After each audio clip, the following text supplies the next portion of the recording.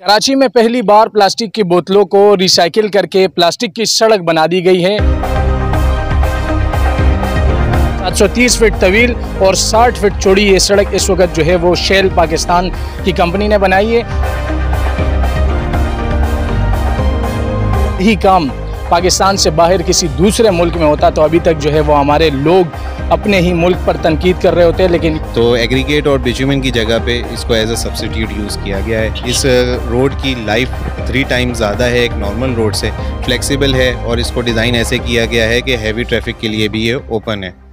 असलम जी चलते फिरते मैं आपको खुश आमदीद कहता हूँ। देखिए इस वक्त जिस सड़क पर मैं मौजूद हूँ ये कोई आम सड़क नहीं है बल्कि प्लास्टिक की बोतलों को इस्तेमाल करके इस सड़क की तमीर की है। यानी कराची में पहली बार इतना बेहतरीन काम हुआ है और प्लास्टिक की सड़क जो है वो तैयार कर दी है। शेल पाकिस्तान की कंपनी ने ये कारनामा सर अंजाम दिया है। इस वक्त मैं आपको ये दिखा रहा हूँ कि ये कोई आम सड़क नहीं, बल्कि प्लास्टिक की सड़क है। और अगर इसकी खसूसियात मैं आपको बताऊँ तो दूसरे सड़कों के मुकाबले में इनकी उम्र जो है वो तीन गुना ज़्यादा है। और इसके अलावा ये दूसरे आम सड़कों के मुकाबले में तीन गुना लचकदार और पायदार भी है।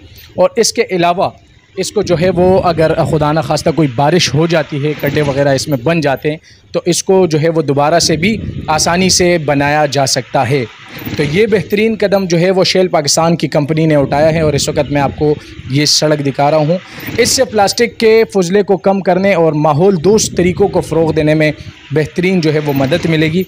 और ये 730 फिट तवील और 60 फिट ये छोटी सड़क में तकरीबन ढाई टन से जायद बोतलों का जो है वो इस्तेमाल किया गया है।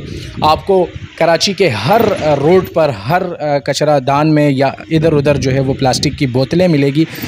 ये बेहतरीन कदम जो है वो इस वक्त शेल पाकिस्तान ने उठाया है और आपको ये जो सड़क नज़र आ रही है, ये प्लास्टिक की सड़क है और इस वक्त इस प्रोजेक्ट के हेड से हम बात करेंगे कि वो इस बारे में क्या कहते हैं।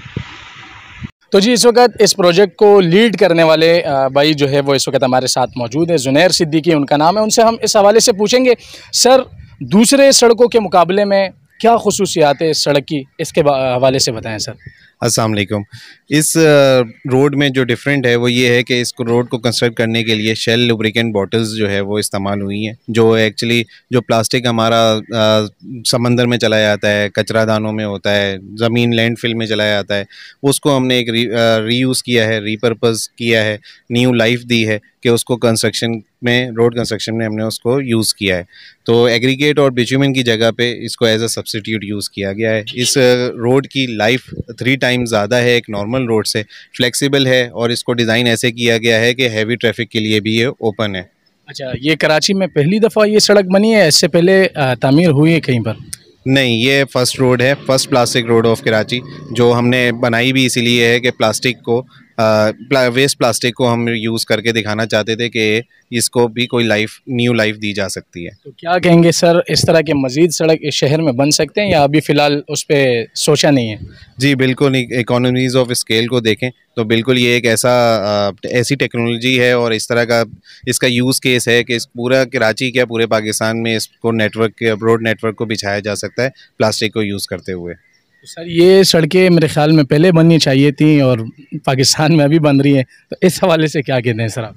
जी बिल्कुल लेकिन इसलिए के कहते हैं कि देर से देर आए दुरुस्त आए। अब स्टार्ट हुआ है तो मुझे उम्मीद है कि बाकी कंपनीज़ और गवर्नमेंट इदारे भी इसको लेंगे और इसको सीरियस लेते हुए ऐसे ऐसे इनिशिएटिव्स और लिए जाएँगे।